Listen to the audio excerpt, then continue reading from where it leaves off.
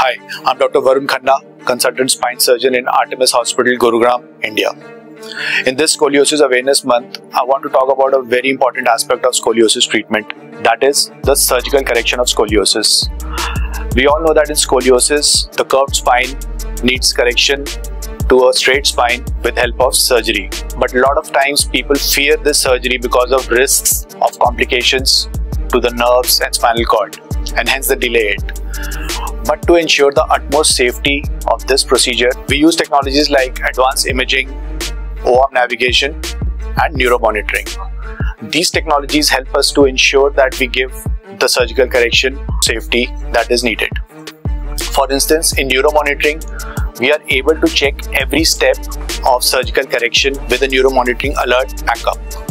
As we are correcting the spine from a curved position to a straight position, we get the neuromonitoring alert and we are able to ensure that the nerves and the spinal cord are not stretched and there is no risk to them.